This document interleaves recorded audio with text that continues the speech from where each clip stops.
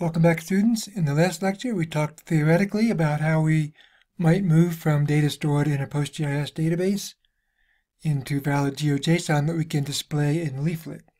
And in this lecture we're going to actually write some PHP code that will do that. And we said that in order to do that we need PHP both to send a SQL query to the database and also to convert the data that's returned from the database into GeoJSON. And so in this lecture, we're going to end with a theory and we're actually going to write the PHP code that will do that. So the first thing I'm going to do though is delete this testarray.php. That was just part of the last lecture, but we're never going to use it again. So I'm just going to delete that. And then I'm going to create a new file and I'll call it load underscore baldeagle.php. And because it's a PHP file, the first thing I'm going to do is set up my opening and closing PHP tags. And then we're going to load this data from the database, so we're going to need a database connection object. And fortunately, in our init.php, we already have this code right here that connects to our WebMap 302 database which we've already loaded data into. So let's copy that, and then I'll go back to my load bald eagle PHP script, and this is going to give us a new database connection object that we reference with the PDO variable. And so we can send a select query to the database by calling the query method of this PDO data connection object. And in PHP, we access properties and methods of an object using this single dash and a greater than symbol. So our database connection object has a query method. We're going to pass that a SQL statement. So let's just say select everything from DJ underscore bald eagle, I believe. So that's calling this method, but the method actually returns a response, like most methods do. And that response contains the result of the select query. So let's create a variable called result, and we'll set that equal to whatever is returned from this query method. And then just for fun, let's echo out that result method and see what it is. So we'll use a built-in PHP function called vardump. That's handy for debugging because it'll let us see what's actually in this result. And then we'll go to Chrome and go to localhost, webmap 302, and content. And then we'll call that load underscore baldeagle.php function and see what it returns. Uh, it says undefined table. So I think this might be DJ underscore eagle. Let's try that once and see what happens. Yeah, that worked. So it tells us what the query string was, and that's about it. Now we can get some other information from this result object though by calling some of its methods. For instance, this result object has a row count method that returns the number of rows that are returned. It tells us 70. So there are 70 rows in the bald eagle data. And we could loop through these rows. Now that we know that there's 70 of them, we could use that to loop through. There's a, a number of ways that we could loop through the different rows, but the easiest one, in my opinion, the one that I like to do is I say for each result as row and that sets up a for each loop that's going to run through all the rows and on each iteration it's going to return a variable called row and that variable is a PHP associative array that contains all the information in that row. So let's do this. For each iteration, use var dump to spit out everything that's in that row variable. And then to make it easier to read, we'll append some HTML line breaks at the end of each row. So let's try that now. So here it tells us for each iteration that the row variable is an array with seven elements.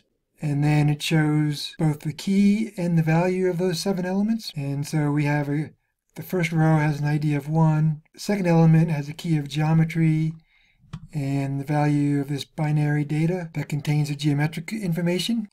Third element is called postgis underscore FID, and it has, in this case, a value of 1. So here we have all our data. We're getting data from the database. That's good, right?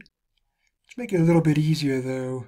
Because row is a PHP associative array, we can use our handy JSON encode function to turn it into JSON. So let's try that now and see what it looks like.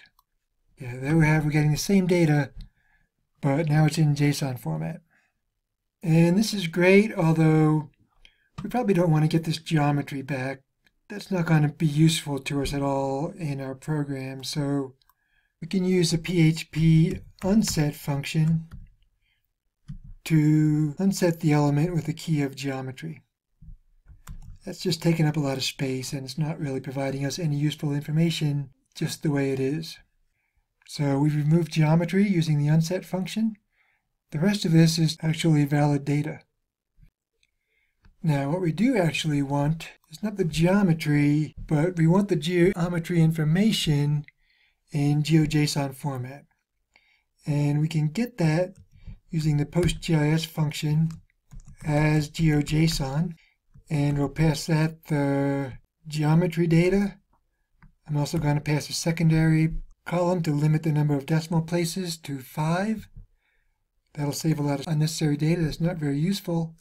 And I'm going to give that an alias of GeoJSON. So that's going to be the name of the column header for this information that comes back. So let's take a look at what that does for us.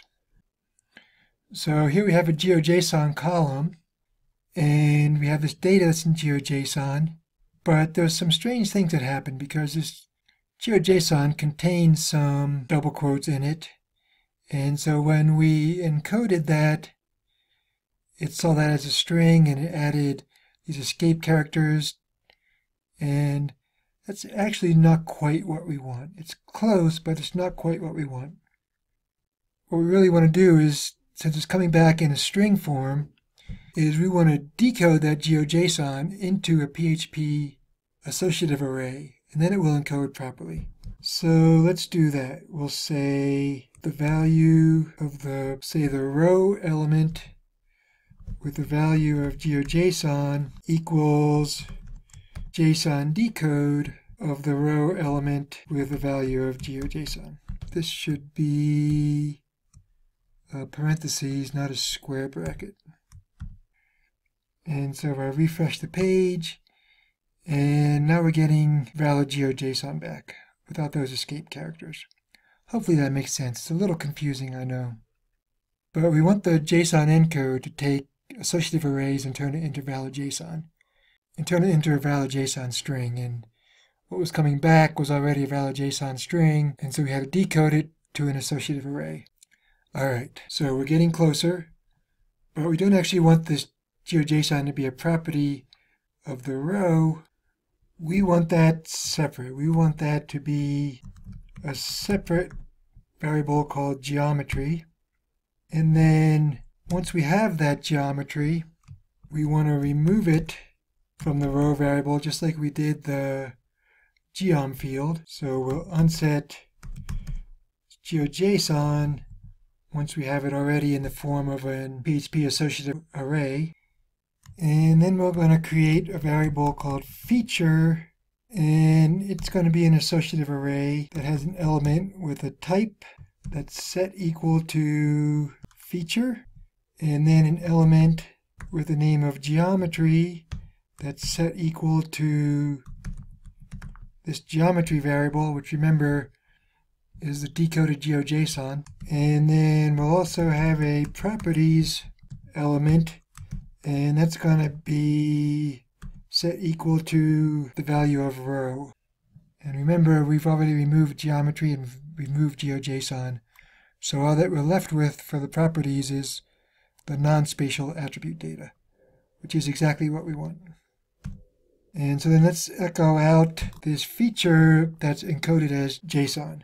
And I think that what that will do will give us valid GeoJSON. So we have type feature, geometry has a point and coordinates, and then properties that has an object with all the data. So now we have valid feature GeoJSON for each row in the database, but we need to put those features into an array.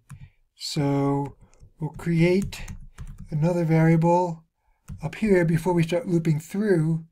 We'll create a features variable that's an empty array, and then we'll use the array push function in PHP to add the feature to the features array on every iteration of the loop. And then after the loop is done, we'll echo out the JSON encoded features array. And so let's see what that does. Yeah, so we have a square bracket to start. Then we have our feature, and at the end of our feature, we have a comma to start the next element in the array, which is also a type feature. So that's working. All we need to do now to get valid JSON for the whole thing is add this features array to a feature collection object. And so after we're all done, we've created our features array. We'll create a feature collection associative array and that will have a type property with a value of feature collection and then it will have a features property with a value of that features array. And then we'll echo out this JSON encoded version and run it again. Ooh, on line 19, unexpected. Uh,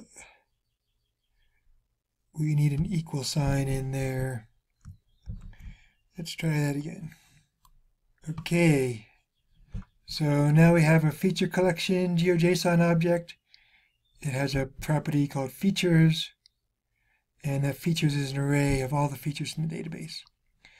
So there we have it. We've queried the data in the database. We've converted that data into valid GeoJSON. And now we could take this GeoJSON and load it into Leaflet. And we'll see how to do that in the next lecture.